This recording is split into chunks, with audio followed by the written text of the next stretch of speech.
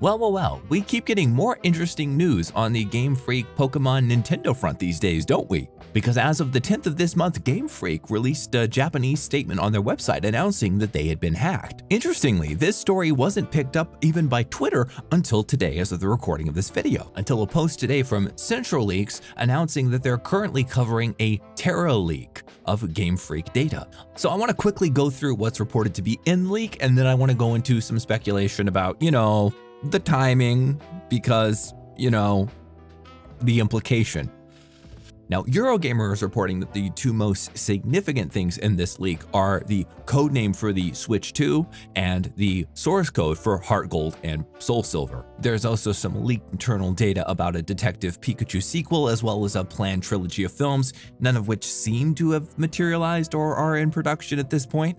I gotta be honest, there's probably not too much value in a lot of these leaks because things change a lot internally. And let's be honest, those of us that have been alive long enough kind of know how Nintendo works at this point. They're gonna milk the Pokemon franchise by making more Pokemon games of a similar style, shutting down all their competitors, and just relying on the incredibly loyal fan base and the fact that once people buy the Switch 2, they're locked into the Nintendo ecosystem anyways, and there's no escaping.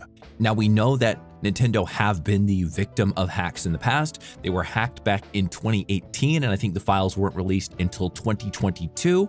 Of course, on that famous website that all Nintendo lovers hang out on, 4chan. The suspect in that leak was British hacker and Malwarebytes employee Zammis Clark, who was allegedly the perpetrator of the attack, and he was sentenced to a 16-month suspended sentence. Meanwhile, Ryan Hernandez, who leaked details about the early release of the Switch, was sentenced to three years in federal prison back in 2020. Safe to say that Nintendo takes these hacks very seriously even compared to other companies. I mean, let's be honest, it's Nintendo after all.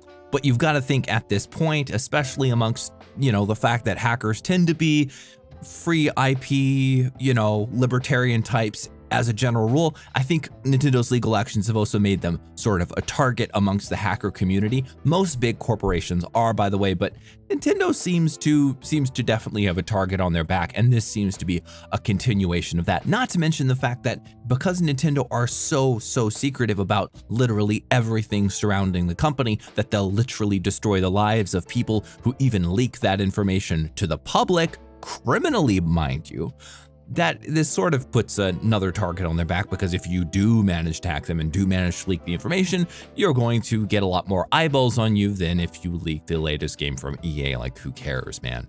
As of yet, there are no suspects in this case. Like I said, as of the making of this video, all this stuff just came out about 12 hours ago, and I'm recording this now a little bit blurry-eyed because I massively overslept on this beautiful Sunday morning in England, which isn't beautiful. It's cold and rainy.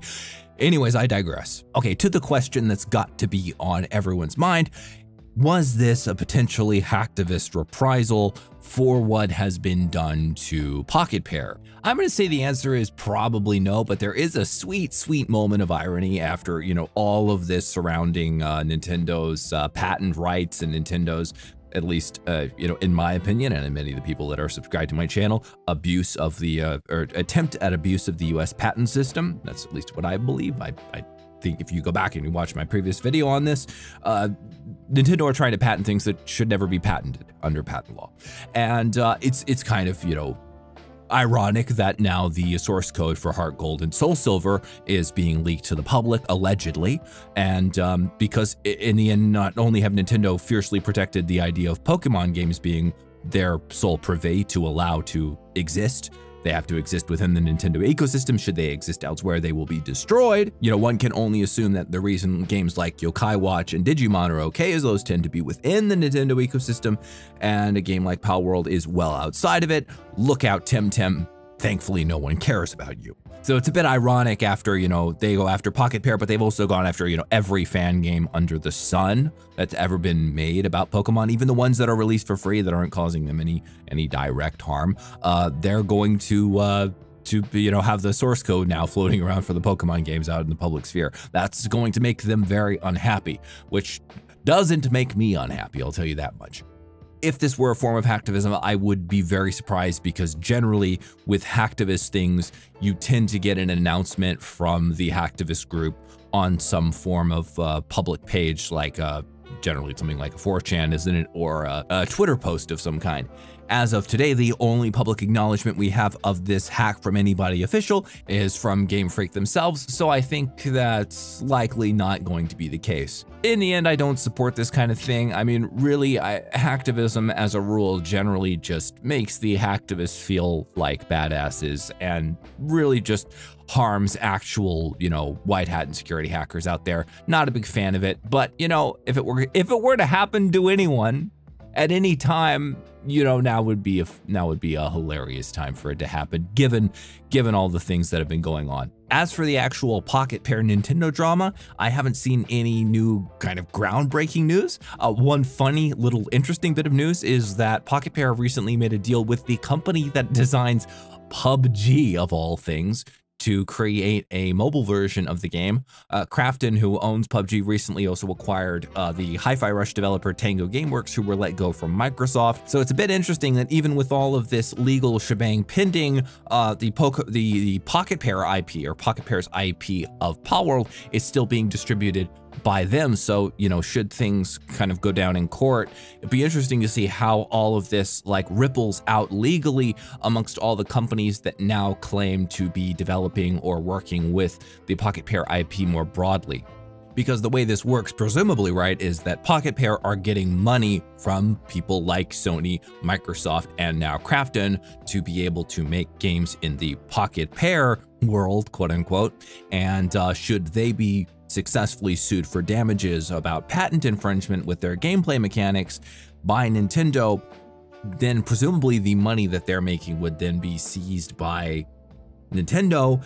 But then I think that raises questions about the continued use of the IP that has been purchased by companies like Sony and by now Krafton. And it's interesting to see that maybe it tells us something about the internal line of thought amongst uh, these game companies about maybe the potential success of Nintendo's lawsuit if they seem still ready to go ahead with games based on uh, the Pocket Pair intellectual property. Maybe as some commenters have said in my last video on this topic, maybe, just maybe, uh, there are some people, especially on the US rather than the Japanese side of this, who are looking at the things that Nintendo are trying to claim they own as gameplay mechanics and absolutely shaking their head. On the other hand, maybe this doesn't mean anything, and maybe these deals were in the works since January, since maybe the release of the uh, PC version of Palworld, and you know, in the corporate world, it takes time for these things to get going, and maybe the industry hasn't really had a chance to respond to the lawsuit. I don't know, though it does seem interesting that uh, this deal this deal was announced moving forward regardless. I think there is something important to be said about this whole idea of patenting game mechanics. One of the things that really drove me mad about my initial videos on this topic was a lot of people wanted to play legalese to the point where uh, Forbes journalists were even making fun of gamers for not understanding patent law. Well, guess what? I don't need to know uh, about how first degree and second degree murder works to know murder is wrong. I don't need, uh, you know, a JD in patent law from Harvard to know that patenting in-game mounts that change based on whether you're on land or on sea is just kind of a bizarre thing to patent. My lack of expertise in patent law doesn't stop me from, you know, having an opinion on the immorality of a massive company. I would hope that we can all agree on that. Anyways, I think this video has gone on about as long as it's needed to. I apologies. I am my I am my apologies. I am still half asleep recording this video. It is a sleepy Sunday morning. Uh, if you enjoyed this video, do like and subscribe. I cover gaming news, predominantly Nintendo news at the moment because Nintendo keep being Nintendo, and they shall for the foreseeable next hundred years. I'll see you guys in the next one. Until then, peace.